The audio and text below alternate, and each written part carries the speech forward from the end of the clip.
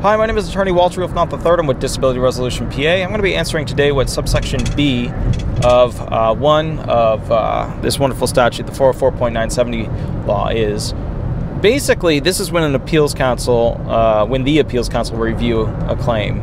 Um, number one, or sorry, number two of uh, subsection A, so subsection A2, so 404.970A2, there's an error of law. Classic thing, the judge, um, you know, stated the wrong definition of something or cited something incorrectly or blah blah blah. There was an issue because the law wasn't properly applied.